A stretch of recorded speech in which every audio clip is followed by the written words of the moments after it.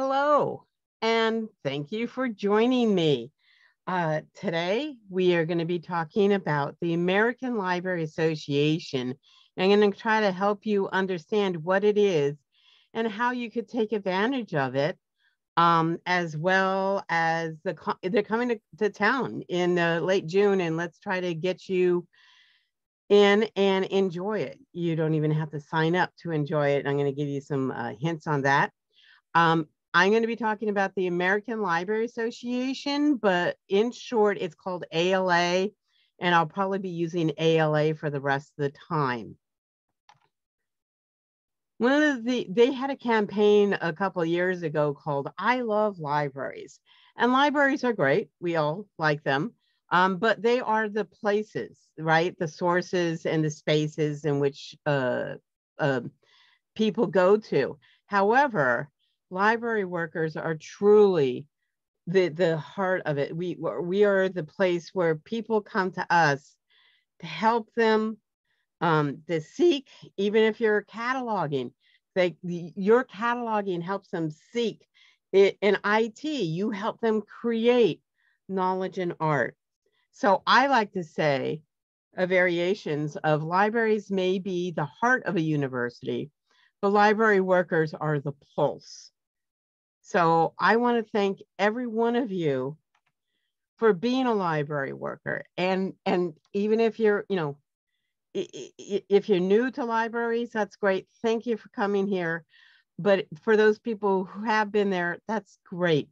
And one of the things I would like you to do is at this point, Derek, I'd like you to put in um, my slide link to the chat this, this link will, uh, all of my slides are full of links. And if you want to follow along and go down a couple of rabbit holes, that you can uh, pull up that link. Also, the comments and suggestions, Derek's going to put in a very long URL, and that's a Jamboard that we're going to revisit at the end. But as we're going forward through here, I want you, if you have comments, suggestions, reflections, you know, about ALA or what we're talking about, please use that Jamboard because when we come to it to the end, it'd be nice to have more populations and we could discuss what you're finding out there. Notice that uh, we do have the Zoom chat. We've all been on Zoom for many years now. So, but just to realize that there's comments and chats down there.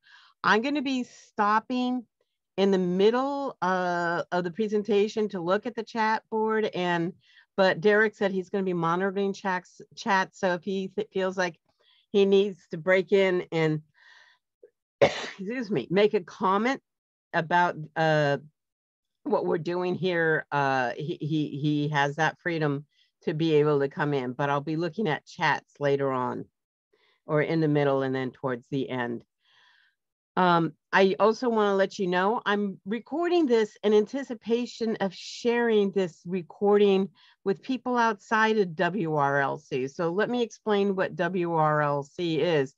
It's the Washington Regional um, Research Library Consortium, which is made up of academic libraries uh, in the DC area. So this is very academic focused um, in DC specific. So we're not going to be talking about how to get to conference because we all know how to get to DC. My name is Jennifer Boettcher, by the way. Um, I am the business reference librarian at Georgetown University. So that's, you know, that's my framing. That's who I am. I've been a librarian for a, and a member of ALA for over 30 years.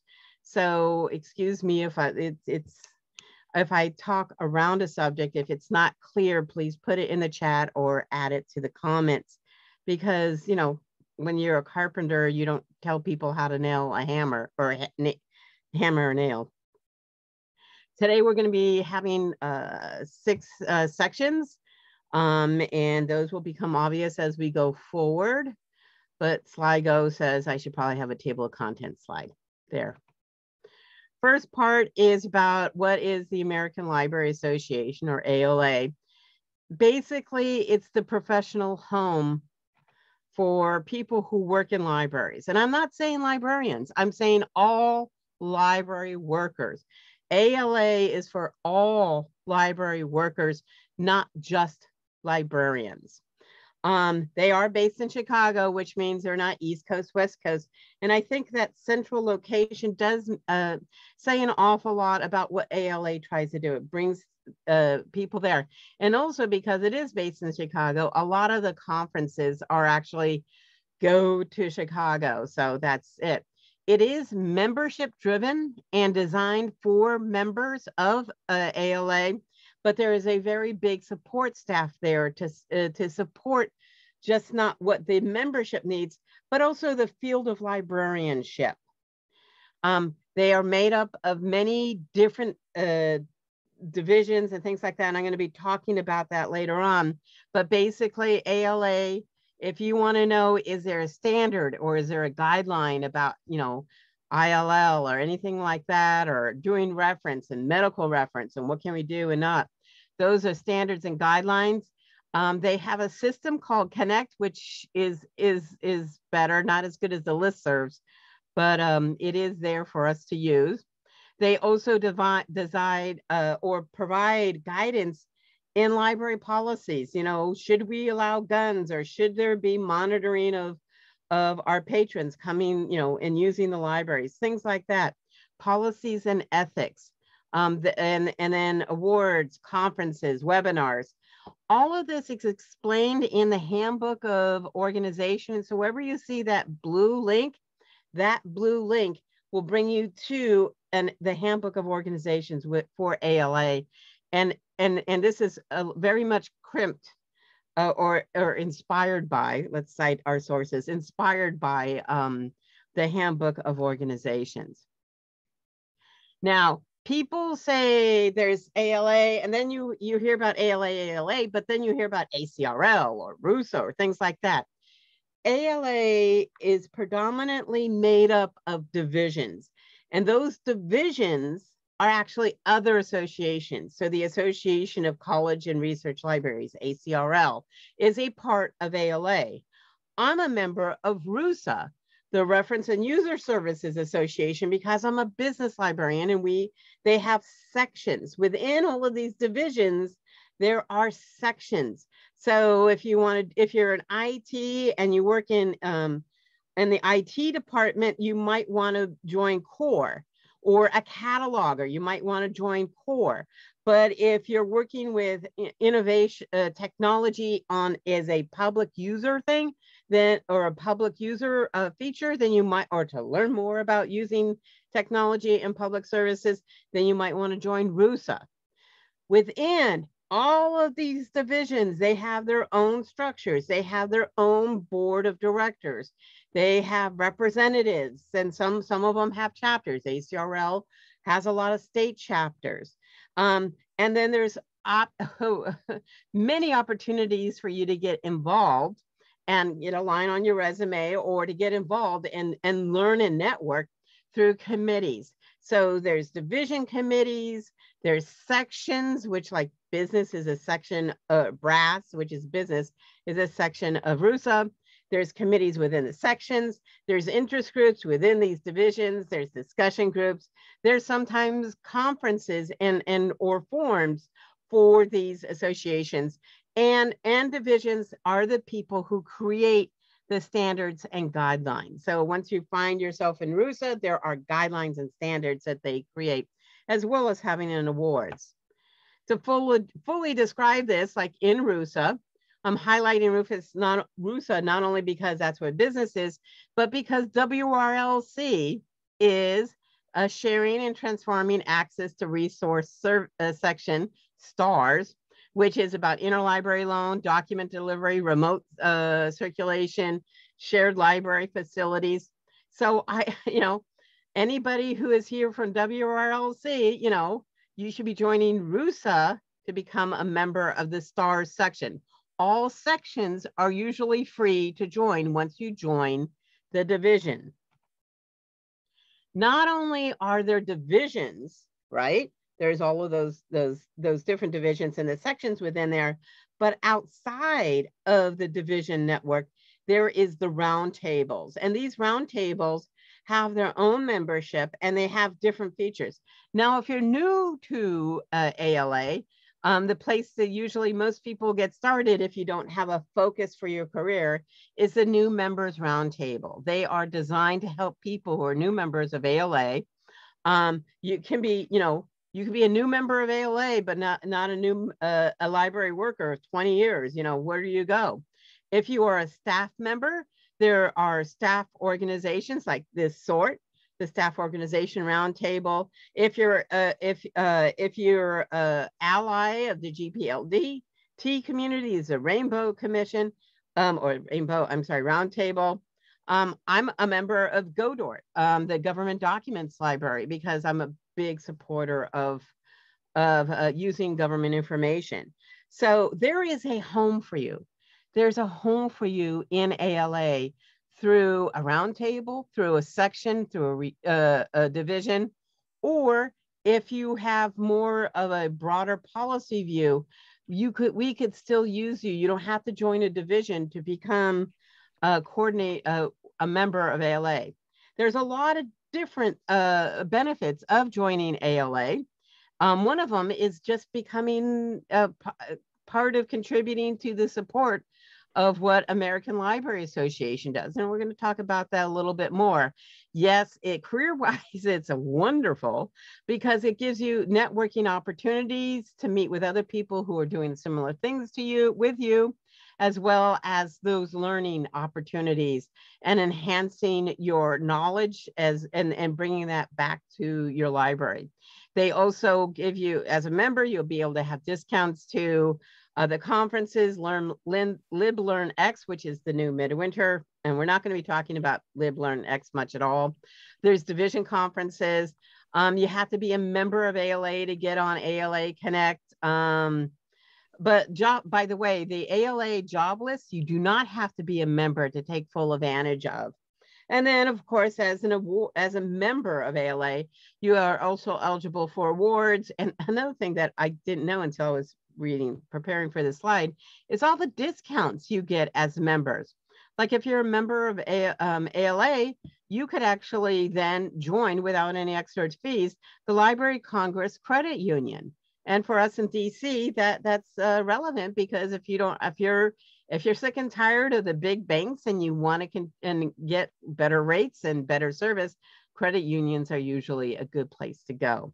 And there's many other discounts you can have as a member of ALA. But to be a member, you have to join ALA.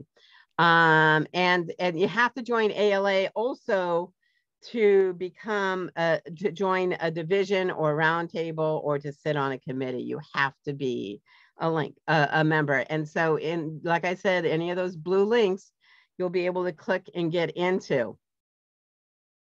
I was asking people at um, Georgetown, where I work, you know, what is the biggest confusion uh, confusion people have about ALA? And someone says it's like how to get on a committee because committee work is like I said, this is where you network. This is where you get to know your peers. This is where you get to to you know generate standards and and or look at re, award, re, awards and stuff like that. It's a great opportunity to join a committee because you're not just talking about the people in your immediate uh, but, uh, facility, but also internationally as well, you know, nationally and international.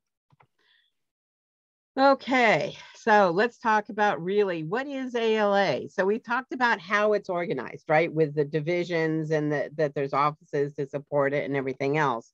ALA's main, uh, according to the Constitution, is simplified is it, it provides uh, uh, and promotes libraries uh, service and, and librarianship. They're basically there to represent libraries and librarians and library workers. I that um, librarianship, uh, to tell you the truth, it has been very librarian centric for a long, long time. And uh, this year, in the last couple of years, they they really are making an effort to say library workers are professionals. You, some of you have been doing this same job for 30, 20 years, and that we really respect you and we wish you to become members. And actually, there's a lot going on in ALA so that all library workers can be a member of ALA. There are eight major actions that they do that, that hopefully some of these will resonate with you. They're the advocacy for uh, libraries and the profession. Um, they want to educate and they want every member to be a lifelong learner. They they are very concerned about diversity. Uh, just actually, very uh, a couple of years ago, they admitted that American libraries and librarians in the past have created um, a good deal of being a part of that racial uh, injustice and and they recognize that and they want to be able to say no longer and if you see it in ala or in your libraries if you see anything that is uh, making you discomfort, please, please bring it to ALA's uh, attention um, or your workplace. And uh, that it, it is a, a, concern. And we know there's some legacy of racism in the field. And we're doing everything we can to uh, try to address that. Um, ALA is also wanting to be organizationally excellent. Uh, they want to manage their money well. Um, they also are concerned about equitable access to information and library services, and that may mean broadband. It could mean uh, lowering the cost of some of the services, things like that. Intellectual freedom has been in the news, all the banned book news and everything else. The ALA has really stepped into that breach and is trying to promote um, intellectual freedom um, as well as access and literacy. Let's face it, if people couldn't read, they shouldn't be. I mean, that, you know, libraries would not really have a big role in, in society. But the other thing that's actually kind of new to ALA is also transforming libraries and making them innovative. So that's one of the things that ALA, those are some of the things ALA are actively uh, going for. There's also core value statements. I'm not going to go into here. You could read them, but there it's basically where it, those core values covered a lot of that what we need to do. Now, they also have a strategic plan that was introduced last year. And this is a big, big slide, but the big thing is that they, you know, they want to increase broadband. They want to bring equity, uh, diversity, and inclusion for all library workers, um, and and you know, revenue streams and all those other good things that strategic plans usually mention. I'm not going to go long on this slide, just I'm just putting it in there if you want to know about the governing documents um, and priorities or, or the uh, uh, policy manual, which is talking about operating the library, but also the policies that library take, that this is all links that are really great things to do. Um, let's talk about how ALA works. Um, and then after this, I'll be pausing for questions. We've talked about the structure. We talked about the motivation. We talked about how wonderful it is, but how does it really work? ALA is membership driven. And a couple of members right there um, that you may know. Uh, so just be aware that it is membership driven. You have to be a member to be able to make ALA work. And we appreciate that. They, they uh, because of, of like I said, the, the reduced rates for support staff in libraries are now brought it down to $54. Before you had to join, you had to join at the librarian rate. But now for uh, uh, support staff, and also we recognize that there are some librarians that don't make a lot of money. Um, those are usually in public libraries um, uh, that they don't make that much money. And so they also have a reduced rate for that. Um, and then librarians, if it's the first year that you're joining ALA, then $75. But after, I think it's something like four years, it's going to be 150. So there's money that I know uh, some institutions, some libraries do pay for membership in ALA. Um, I know Georgetown doesn't. So it is it is a commitment you have to make, but check to see with your employers. And then uh, there's also an organizational rate that I'm not going to go too far into it because uh, if you're interested, contact me or, or actually ALA membership. By the way, if you become a member and you pay your dues for 25 years, once you retire from your position, actually the way the dues to become a member of ALA is waived and you don't have to pay for it anymore. Um, there is, okay, so you have to become a member of ALA before you become a member of one of these divisions. So here's the prices for the divisions prices are on top of the ALA price. Hopefully that's clear. And if you're a student, oh God, we love you. Um, we want you to come into the profession. We want you to become a member. So we give you the reduced rate. Um, just and then actually some of that uh, re, uh, the the membership. We love you so much. Some uh, of divisions will actually, if you join the division, they will waive the ALA due as long as you're a student. And that's, you could be a student member for five years. Even after you graduate the third year, the next two years, you can still classify as a student. I, I believe that's true. ALA is made up of, it's governed because it is a membership organization. There is um, a council that of 150 librarians that is the policy making, the operation, and things like that. We meet uh, usually twice a year and, and go forward. I am a counselor. Um, I was not reelected this past year, but maybe next year I'll run. Um, and so the, okay, so we have the council that's kind of the policy making, and then there's the executive board, which meets more frequently and and they are kind of like taking care of the immediate things that have to be done. And then for the day-to-day operation there's the executive director and the executive director oversees the staff in chicago. And uh, and then it's also there's committees that help uh, the the directors and the offices run there is something called an ala president by the way, all of the division leader heads are also called presidents, but the ALA division or the ALA president is uh, annually elected and they represent and they're the, the uh, spokesperson for ALA. So if you really want to make a change in ALA, uh, reach out to the executive director and reach out to the president. At this uh, this year, it's Patty Wong, and I've never known a ALA president to do anything um, bad. But anyway, um, the, the ALA is funded by their members. Thank you very much uh, through ALA memberships. And we just talked about the memberships, but also through their educational events like the conference, publishing and donations. So, and, and they're really building much into the donations and getting grants. So it, uh, they're doing what they can. We've talked a little bit about the executive director. We've talked about offices that are there to, uh, in Chicago. And these are the offices, and every one of these offices have people there who want to help members. Um, and we've been hearing a lot from the OE, OIF, the Office of Intellectual Freedom. They're the people who are doing the banned books information. Um, the, the public policy and advocacy office is working with the people uh, in Congress to like get broadbands and and library mail and, and you know, media mail and keeping those policies. But eh, all of these people have, all of these offices have people who are happy to help you. And they usually also have newsletters. So you can subscribe to their newsletters to keep up what's going on out there. Now we've talked about some of the many layers of ALA. There's the divisions and roundtables, and then there's the offices that we're just talking about.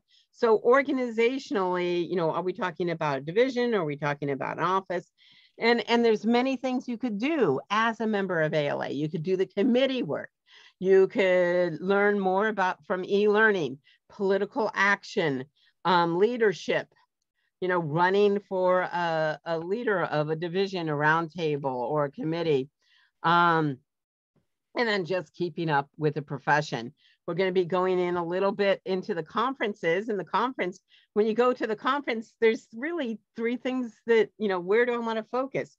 The exhibit hall, the discussion and programs. Do you want to go to uh, committee meetings and learn about what's going on there and networking? So again, somebody asked, how do you join a committee? Well, a committee, you have to become a member of ALA. Uh, all committees are open and so I would recommend that you check them out if you're going to conference or online. Uh, check them out. Committees are appointed by the vice or incoming chair. of whatever level that you're looking at. And usually it's done in the spring that the roster is created in this uh, spring. So find a division or roundtable that you enjoy going. Look to look at the, what committees they have. Some committees only take four hours a year, a year. You know, uh, one hour here, one hour there. Uh, sometimes, like for council, it could take 20 hours, uh, especially this last year. Um, there's a volunteer form link there, and I encourage you to go into it and to learn more about uh, how to get into the volunteer group. And even if you don't, you know, if it's too late for you to join a committee, it doesn't mean you can't participate. It means you could still go on to the Connect group and follow what's going on. Or if you go to the conference, go to that committee and see what's going on. You could still work for that committee, you just won't have it on your resume. Uh, so finding more, uh, doing more with ALA. These are links that we've already talked about or information, and there's links here to go into it. If you want to find out more about ALA or if you want um, to, to uh, finding more, I don't think uh, other than Connect where you have to be a member, um, all of these things are open to you and subscribing to a newsletter. You can subscribe to an office's newsletter um, and I don't think you have to be a member to subscribe. I've been a member for so long. So at this point, I'm going to uh, ask if there's any questions. Um, there's no questions in chat. Those were just the links that were sent out. Um, Actually, Jennifer, I have one question if it's okay. Yeah, yeah, yeah. Okay, so I volun I filled out the volunteer form. When do I find out if I've been accepted onto a committee? Okay. Um, just to let you know, ACRL is very competitive to get on committees. So sometimes it may take a while, but it doesn't mean you can't go to a committee. Usually, uh, but you know, uh, some some chairs are, you know, it fills up really fast and, and then you'll be informed. Some chairs are just really beating the bush to get committee members going. So usually these committees are usually fixed, hopefully before ALA. So what you might want to do is go and um, email the chair um, uh, and uh, the chair of that committee and just say, you're just wondering about the status status of your volunteer. Actually, no, the chair doesn't do, the incoming chair of that section or division or roundtable um, uh, uh, contact the incoming chair because they're the ones who set it. The chair of the committee sometimes may be staying on or they may have some influence, but they usually don't say, you know, they usually will say, keep this member on. But if it's a new member trying to get on a committee, they probably won't know who you are. But the incoming chair of that section who assigns committees, or if it's a division level, uh, they they would they would know. So contact that person because also you putting that forward means that you care enough that they'll probably put you on. All right, sounds good. Thanks. Okay. Uh, what are some of the tips for making the most of uh, times that conference came in from David?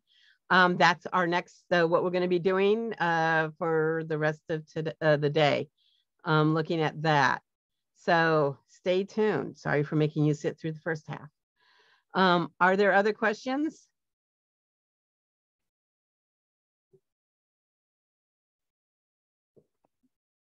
All right. Um, I'm turning off my chat now and we're going to go forward. By the way, I put links into the slides uh, from in the chat. So if you want to go back to the slides, um, they uh, will be made available to you. You can click on that, click on that now and get to the slides. And then the second link, that big long link, is a reflection board uh, for a Jamboard. And I encourage you to use that as I am speaking or to use that later on um, with observations, comments, questions, because we're going to be checking in on that later. Conference will be coming to town. Woohoo, the circus is coming to town um, this June in, in less than a month from now. You have to register to be uh, to come to conference. We've already missed the advanced registration, but this was a great graphic, so I just didn't want to mess it up. So the advanced registration is out. That's no longer available to you. Um, but you do have the standard um, registration, which is open until June 20, uh, uh, 21st. If you know at this point you will not be able to make it, you've already registered, you can get a refund of your registration, um, but that expires on the 27th of this month, May. So if if you say, you know, I registered now, I don't think I can go, um, you have to let them know by Friday that you can't make it or you'll or your registration fee will be waiver uh, uh, uh, sacrificed.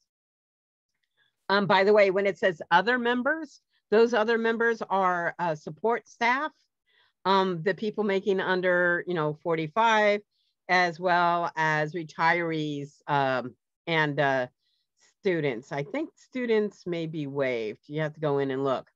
But notice, I mean, the cost of a non-membership is actually a little bit more than becoming a member of ALA. So this is a way of getting members. The cheapest, by the way, uh, salary or the cheapest way to get in is $95 for exhibits only. But if you wait a little longer, there might be a way of you get in. You have to have a pass to, or you have to register for ALA um, to get to use the uh, uh, the placement. Usually, you don't have to uh, register to go to the placement, um, uh, the library's uh, placement center, but uh, because of well, we'll get into that later. But anyway, the cheapest thing if you if to get to ALA is the exhibits pass. So uh, ninety five dollars see if you're see if i'm sure your your workplace will be happy to sacrifice $95 it that it means if you do exhibits only you won't be able to go to any of the special events or any of the uh, uh, conf, uh, the programming information and educational. It's just walking the floor.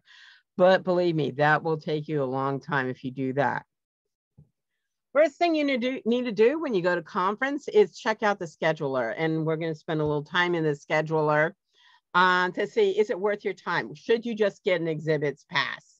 Um, for those people who believe their workplace may not let them go unless they put out a good argument, there's a link here on how to get uh, people, um, how to make a case for attending yes, we saw the, the registration, but there's other additional things called ticketed events. These are usually, um, you know, day-long workshops, or they could be a special dinner or an event that will have an extra cost to it. Sometimes as low as $5, sometimes as much as $45. So those just be aware, ticket events is on top of your registration. Um, there's also a link here for people with accessibility um, and also they, uh, George, uh, one of the things that ALA is uh, wants to focus in is sustainability. And there's a sustainability pledge there and, and other events, things talking about sustainability of the university. One of the biggest advice that so many people do not are not aware of is that there is an ALA app for conferences, which is wonderful because that app uh, will tell you if uh, uh, an event has changed, if it's been canceled or if it's been moved. And so you, you create your schedule in the scheduler and then that app will remind you to go. It'll give you space to put down notes and stuff like that. And one of the nice things that ALA did that I thought would really is really helpful for the uh, Washington DC areas is that there's a line, uh, land acknowledgement um, for the DC area that you could use when um, you're when you want to present um, and and mention the land acknowledgement of how we uh, whose land this was before we came. Uh, scheduler of joy. Um, I'm going to go into it. This this you know we'll come back to this slide. But the scheduler, um, you don't have to be you don't have to be a registered member or a registered uh, person to get to the scheduler, you can just go into it. Notice the, the scheduler, it tells you day to day what's going on. And there is what, 672 today, there's 672 different events going on. That's an awful lot. Um, let's say that you're interested in acquisitions. So you say, okay, give me the acquisitions. Um, and you go in and you see of acquisitions, there's 31 different activities going on. The print, uh, the PAN, the print um, archive uh, uh, network, which um, AC, uh, ARCL or someone, anyway, um, those are the regional repositories Notice that there's ticketed events, and then there's also things that anything with the blue is they're saying is an educational event. So uh, just realize that if you're if you if you want to go in by a job for your job, you can go and look at the subjects. If if you say that you can go in and you can go in and say, I want to look at academic things that are for academics only, academic libraries only, you can go into that. Or you say, you know, I'm only interested in authors events. Authors love um, coming into uh, ALA and signing stuff. Uh, so uh, look to see for that. Um, or if you are a division if you are a division um, member and you want to say, you know, RUSA, what's going on with RUSA? I can go into my subunit and just go in and type RUSA. Notice we have an awful lot of these acronyms. I am so sorry for that. ALA, American Library Association, loves using these little short things. Now, I wanted to also focus on the scheduler and say way up here in the hamburger, it's called a hamburger because it's bun meat bun.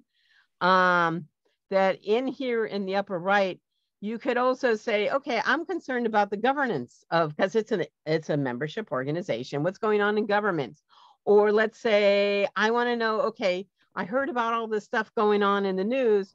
What are some of the things that are kind of newsworthy? There's 13 different events that are looking at uh, rural libraries or intellectual freedom or tech trends or values and national campaigns on banned books and you know, a whole bunch of of issues that are in the news. And so that's a really nice one to go to. Um, uh, or if you want to say, I want to know about the future trends going on in the field. If you want to know about the trends going on in the fields, the president and the chair programs are really good. If there is an author that you want to meet, um, uh, you can go in and under marketplace which we're going to be talking about uh, is talking about meet the authors. And so if you want to know who are the authors coming and where when are they going to be there because they're not there every day all the time you can do that. But if you have a friend who's a speaker and you say you know where is my friend speaking at? Um, you could just go in and and look up uh, her or his name or say okay who from my state is going to be speaking? Who in dc is speaking interestingly enough, enough not a single ACR or a WRLC um, person, or at least the D, in the DC uh, state is speaking from the WRLC uh, libraries. So I just wanted to point that out as uh, as using um, the up here, this hamburger is a really another nice way of getting around um, in here. So let me go back to my slides. And then, so here's kind of what I was talking about. Oh God, we only have five minutes. Okay. Um, you will not have time to do it all. These are some hints on what you could do to try to address uh, what's going on. Realize to get around between venues, there's usually a free bus uh, to get from a hotel to hotel because not everything is going to be in the convention center the library marketplace. The library marketplace is basically 550 exhibitors that are coming and then the, the, the exhibit hall. The marketplace is the exhibit hall. And then there's different areas that will you could go into. Um, if you're new to uh, coming to the exhibit hall, just realize if you are a book reader, then you find a book from a vendor or somebody else, usually you could ask them to reserve it and you can pick it up on the last day of the exhibit. Sometimes you can pick it up for free because they do not want to take it home with them. If you cannot come, and since we're in DC, it makes more sense to come than not come, you have the ability to have something called the digital experience. And uh, I'm not going to talk into that. Okay, during the conference, my word, this has gone fast. Um, like I said, job placement usually it used to usually is free, but because of the COVID and DC, you have to have a badge to get in. So the cheapest way to use the job placement center is pay for the 95 cent or $95 um, pass. However, if you get some vendors will actually give you an exhibit pass for free. So if you're going to be visiting with a vendor, ask them, do you have any exhibit passes that I could use? But one of the greatest things about uh, coming in the job placement center we talked about, one of the greatest things about is ALA is um, is reconnecting with old friends and old colleagues and people like that. Going to socials and reunions that norm sometimes are not most of the time. They're not actually in the scheduler for those socials and reunions. Um, so just be aware that uh, you don't have to be going and pay for the registry for ALA to catch up with old friends and have dinner. Vendors also will visit with you, even if you can't make it to the exhibit hall. Um, you could still contact that vendor if you have any suggestions or questions or or anything else like that. The vendors will love to talk to you. A lot of them are going to be in town for ALA. Okay, at this point, we're going to go to the Jamboard. And let's put that Jamboard link in again. Um, and so here's the Jamboard link again. And let's let's start. And to use a Jamboard, you just have to go over here to a sticky note and just make your comment and write away. Uh, we have a couple of questions. Students are considered others members. So it's going to be that reduced rates. Um, and Cody was, uh, that was from Carissa. And then Cody was kind enough to say that um, if you bundle it, oh, I didn't know about the VCALA, um, uh, that you can bundle your, uh, uh, your, what they call chapter members, Virginia Library Associations with your ALA um, and it's a good value. So I'm asking people to say, what is your next step? Are you going to join? Are you a member now? Why not? Um, can people not get in? I thought I made this available for folks.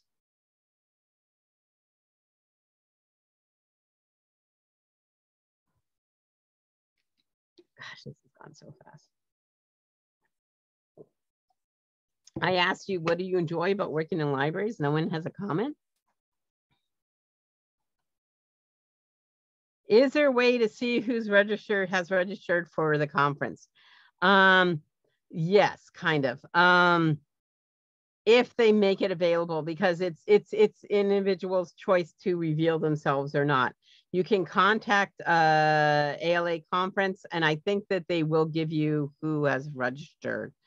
Um, but what's really nice is that uh, uh, uh, to, for registration is is that when you when you register yourself because you have to register yourself to see and then you can go in and there's usually a message board and you can say who's a you know who's also registered and then you could contact that individually individual.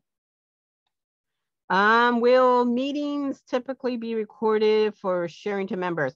Meetings, no, but uh, you know, there's committee minutes and stuff like that. You can get into those. But programs, anything that's mentioned as a program usually is recorded. Um, uh, but you might have to pay later on to see that recording um, and the e-learning uh, platform? Is there a mentorship program available through ALA?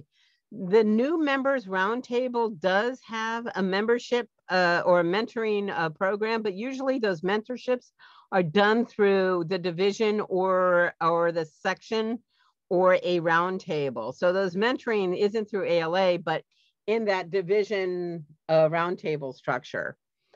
Um, I enjoy helping. Ah, why do you love being a librarian? I I do too. I enjoy helping people while educating individuals on the different uh, uh, specializations within librarianship. Um, I think we all enjoy doing that as well. Thank you.